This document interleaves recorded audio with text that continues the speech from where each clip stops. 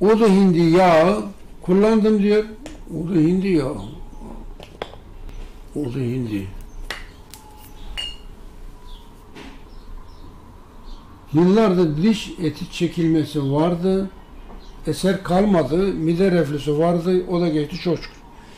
Mide reflüsü, udu hindi yağı ile hem mide reflüsünden kurtulmuş hem de diş eti çekilmesi. Diş eti çekilmesinin sebebi nedir? Viral bir enfeksiyon.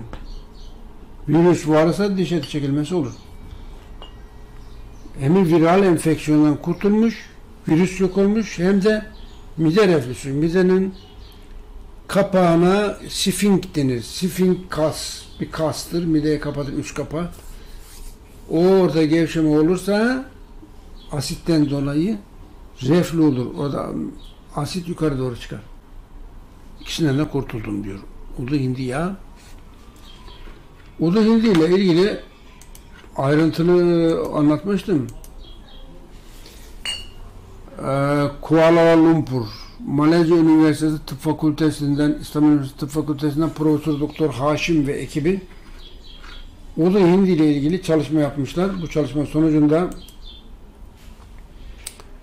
akciğer kanseri, göğüs kanseri, mide kanseri, kolon kanseri, pankreas kanseri, prostat kanseri, rahim kanseri, rahim ağzı kanseri, aklınıza gelen bütün kanser türlerini bu udu hindi ile tedavi etmişler. Udu hindinin udu hindinin yağını ürettik. 19 çeşit bitkiyle güçlendirildik. Benzeri yok. Dünyada böyle udu hindi yok. E, lösemi, pankreas kanseri, kemik kanseri, kan kanseri, mide kanseri, kolon kanseri, rektum kanseri, karaciğer kanseri, adenosarkom, e, prostat kanseri vesaire. Mesela her türlü kanser tedavi edilmiş. Belge, bilgi var. Kullananlar da zaten ne diyor? Herkes memnun, çok güzel, maşallah maşallah. Çok bayağı da memnuniyet var.